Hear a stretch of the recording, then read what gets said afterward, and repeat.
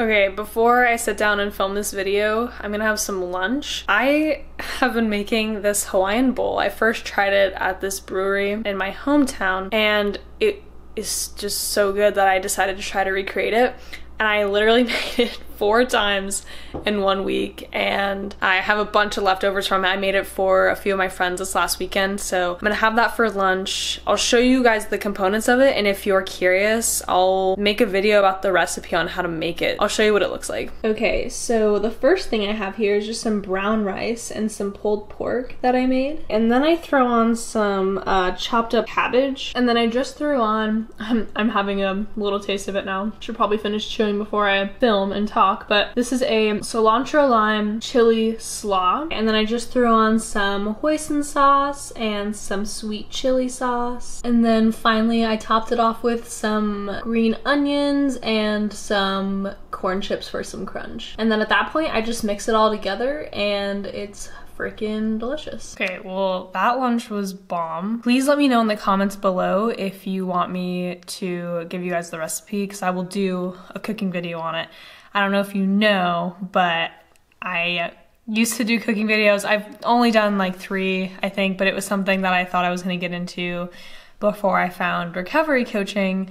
Uh, please don't go find them or do. You probably will, since I already mentioned it. Today, we're gonna be talking about how to heal your relationship with exercise. This was something that was one of the last things I had to heal, and it did take a lot of time, and it was tricky. It was really tricky to navigate. So, firstly, I wanna talk about what my relationship was like before, during, and after eating disorder recovery. I remember when I first got into actually exercising regularly was when I was training for track and cross country. And during that time, it was coming from such a healthy place. I mean, I didn't care about the calories that I burned. Um, I tracked my mileage, but that was for training purposes. I did have a different body type than a lot of the girls I was running with. I always have had like stronger, more muscular thighs and wider hips, whereas a lot of the girls I competed against were very skinny, slender, lean relative to me. And that would sometimes bother me, but I never remember using training as a way to manipulate my body or to lose weight.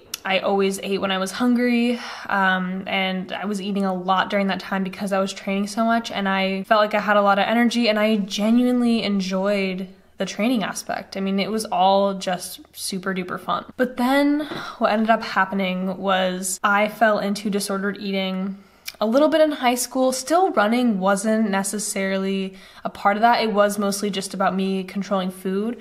Where exercise became a really big issue was when my eating disorder came back in college. So during that time, I was spending, I'm, not going to say how much time I was spending at the gym, but it was a lot of time. Uh, my social life sort of went down the drain. I remember canceling plans because I knew if I stayed out too late, I wouldn't be able to get to the gym early in the morning. And I was so insecure about my body that I would try to go to the gym when it was least busy, which was super early in the morning. So there was no chance I was going to stay out late or drink the night before. Uh, vacations were impossible and so anxiety inducing. Looking back, it makes me feel really sad, but I would be so terrified to go on vacation because I wouldn't have access to a gym and I wouldn't know when I was going to be able to exercise. And I remember that would just freak me out so much. And I would be obsessively planning how I could sneak away and get a workout in. And it took me out of the moment and it made it so I couldn't enjoy the vacation. I couldn't enjoy making memories with my family. Um, I, I couldn't enjoy food because I was thinking, oh, well, I can't exercise as hard while I'm here, so I'm just not going to eat as much. Or if I did eat, I felt extremely guilty because I didn't have a way to purge it, basically. And I also remember this one time where in my college town where I was living at the time, we had this huge winter storm and, you know, class was canceled and everything. It was hard to even walk outside. And I remember forcing myself to go for a run. And I just remember my knees and my hips hurting so much because there was like no traction on the ground. So my feet were kind of sliding all over. And it put me in pain for a few days after that, and I'm already really prone to running injuries. So that was complete abuse to myself and just totally not okay, and a complete representation of how I viewed exercise. It was this thing that if I didn't do it, I would be completely ruined. I would panic, I would freak out, um, my self worth would go down the drain. Not that I really had much to begin with. So it was very, very clearly excessive. And so I could go on and on about stories about how excessive I was and extreme things that I did. But maybe just from that little recap, maybe some of you can relate to that. And maybe you're hearing some things where it's like, oh, yeah, I do that. Those are some generic red flags of you know excessive ex- exercise that you can look out for. But i'm going to cover more ways of figuring out if you're exercising excessively so that you can analyze your situation and find out for yourself if you don't already know. So during recovery, I had to completely stop exercising, and that was really hard. So I had to completely step back from it, and I basically did like an all in approach with exercise where I went all in on not exercising. Through some techniques that I'm gonna discuss throughout this video, I finally got to a place where I am now, where now I exercise in a variety of ways and I switch it up all the time. So now I'm in a place where I run a couple times a week if I feel like it. I do a lot of walking, um, I do some weightlifting, and other forms of exercise that just randomly sound fun, whether it's playing a game with my sister or, you know, playing badminton or rollerblading. And I used to only view exercise as this thing where it's like, it has to be really vigorous for a long period of time, it has to hurt, I have to burn a certain amount of calories in order for it to count. And now, I'm very flexible and adaptable, and I love moving my body, and it genuinely feels so good. And it's no longer coming from this place of I'm doing it to manipulate how I look. I do it because it feels good and it's fun for me. I have found activities that make exercise and moving my body really, really fun. So, how can we distinguish normal exercise from excessive exercise? So, the first thing I talked about in the beginning of the video is are you obsessively planning it?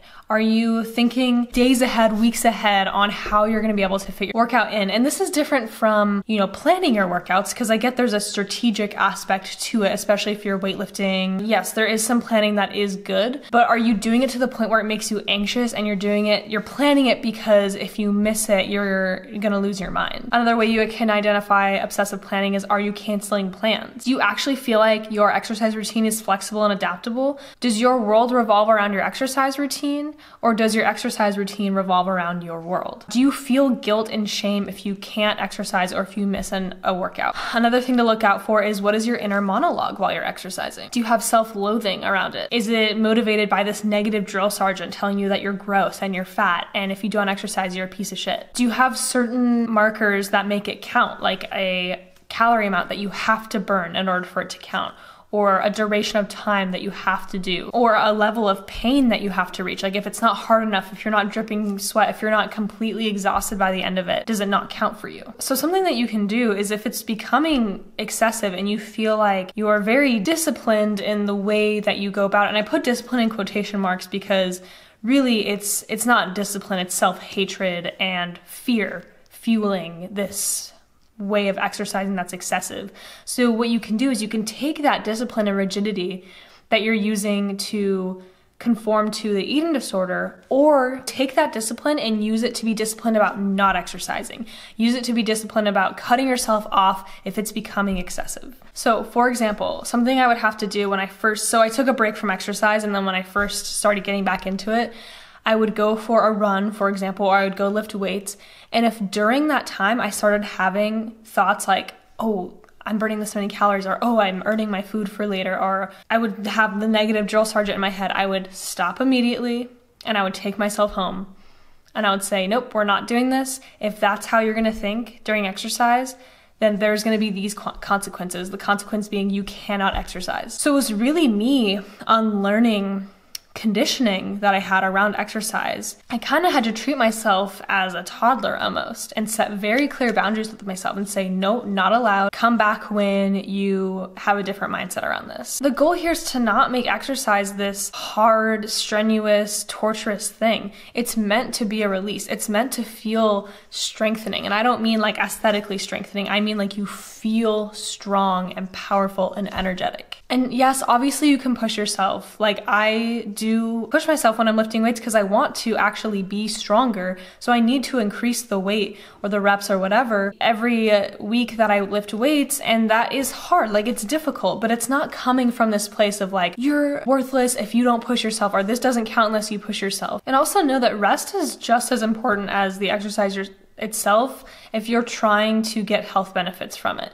So literally your body needs to recover from whatever exercise you do in order for it to have benefits. Think of weightlifting. You can't build muscle unless you give it time to rest and build muscle because while you're weightlifting, those muscle fibers are being torn apart and they need time to rebuild themselves. Same with running. You need time to rest. You need to give your cardiovascular system rest and your muscular system rest in order to get stronger from it. So, really make sure that you are allotting just as much time to exercise as you are to rest and recovery. So, I talked about the all in approach with coming back to exercise. And some question I get is like, how do you learn to exercise in moderation?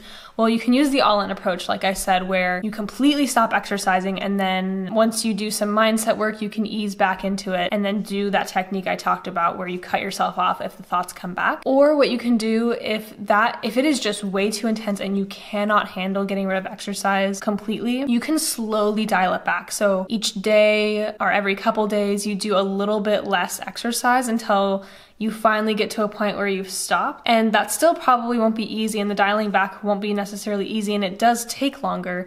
But through that, it can kind of feel more approachable for people and more doable. Another thing is to look at your intention with exercise. Ask yourself, why am I doing it? So, are you doing it to feel good and have fun? Or are you doing it to manipulate your body? Really be honest with yourself here. Another thing is you have to be flexible and adaptable. The problem with being so regimented about eating and exercise is that it's just not sustainable and you miss out on so many things in life when you approach it that way. So every time you engage in exercise, I want you to ask yourself is this coming from a compassionate, loving place or is this coming from an anxious, fear based place? Again, be honest. So, a really good question to ask yourself if you're trying to figure out how your relationship with exercise is is ask if somebody told you that you can't exercise at all for the next week what feelings and thoughts and emotions come up for you. Another thing you can do is change what you're listening to while you exercise. So for me, when I was excessively exercising, I would listen to really hardcore music and I would have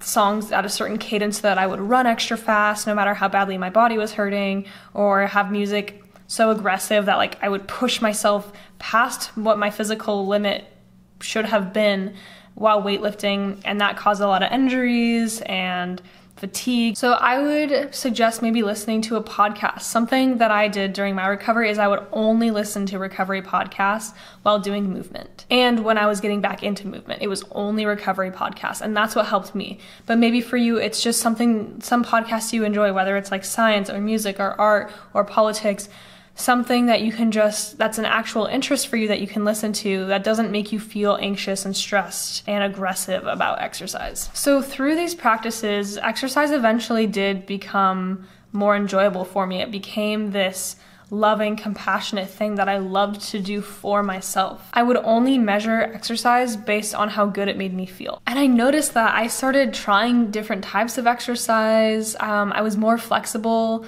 with my schedule. I wasn't afraid to go on vacations anymore. I wasn't afraid to hang out and party with my friends late at night. And I started also going to new places. So, something that I did was when I first got back into exercise, I only walked and I didn't do any other form um, because I felt like walking and yoga were the most gentle forms that I could do. So I noticed I would start walking to places that I've never been before. Um, I was just, it felt like a meditation while I was walking or doing yoga rather than uh, a form of torture. And now I'm at a point I will only do exercise that feels good for me. Something that I hear a lot is, well, Anna, I exercise and it makes me feel all of these great things still. Like I still might have a disordered relationship with it, but I still have all of these benefits. Does that mean it's bad? So we're not to be able to figure out if it's disordered when it's present. The only way we're going to figure out if it's disordered is in the absence of exercise and what feelings and thoughts come up when you don't get to have it. So, something I want you to try is I want you to start tracking how you feel around exercise. And this is something that I do with clients is if they're gonna do exercise, they will take notes on the thoughts, emotions, feelings, body sensations that they have before, during, and after the exercise. They write down the date and time that they did the exercise, they write down the duration, they write down what type they did. They also write down what motivated them beforehand. And then they'll rank out of 10 the enjoyment level. So one being like they didn't enjoy it at all, it was completely disordered, they were berating themselves the whole time, it was coming from a place of hate, it was torturous, it was unenjoyable. And then 10, it was like, I loved it, I had so much fun. I was not motivated by disordered thoughts at all. My body felt so good. I felt centered. I felt grounded. And so, for every time you exercise, use that form of logging so you can really take a look at what is my mindset around exercise and where can I make improvements or where am I making improvements already. The first thing I'll say is if you are in the midst of struggling with exercise and you've never taken a break before and you're in recovery, you're in the depths of it, try to stop completely exercising for one and really see what comes up for you, what thoughts and feelings come up for you what fears come up for you. And then if that feels like it's too intense, try the dialing back approach. Try cutting it down by like 15 or 20 minutes every single day or every couple days until you get to a point where you're not exercising at all so that it's more approachable for you. And then when you get back into movement, start small. Start with something like walking. Listen to a podcast that you enjoy. Try yoga because yoga is all about this mind and body relationship and it's a great way to get connected to your body through movement. And the last thing I want to say say is running is one of the number one contributors to relapsing. And I think that's really important to note. Running is a very common form of movement for people who are engaging in a disordered eating. So I want you to keep that in mind really be careful. And maybe it's a different kind of movement for you. Maybe it's HIIT workouts, maybe it's swimming, but running seems to be a very common one. So please be aware when it comes to that. All right, well, I hope that was helpful. If you're struggling with your relationship with exercise, please reach out. Please reach out to me. Um, I can give you, I'm gonna link below a couple of Instagram accounts that are body positive, anti diet, recovery focused, and they talk about exercise and how to have a healthy relationship with exercise. But otherwise, just know that this is a process. It takes practice, it takes persistence. It's not easy, but it's worth it because you end up getting to a place where you have this healthy relationship with exercise and you feel connected to your body. So just know if, if you're struggling with this and you're finding it really hard, it is worth it. There's a light at the end of the tunnel. Have that vision of yourself, that person who it has such a good relationship with food and body and they have this freed up mental space and they have this energy and they're enjoying life and they feel fulfilled and they feel confident in themselves that is the version of yourself that you're working towards right now. Every time you have a success, you're becoming more of that vision. If you have any suggestions for videos you want in the future, please leave them in the comments below. I think I'm gonna be doing a recipe video for my next video, probably for that Hawaiian bowl that I showed you guys at the beginning. And otherwise, thank you for watching. And if you haven't subscribed, please do so, and I'll talk to you guys soon.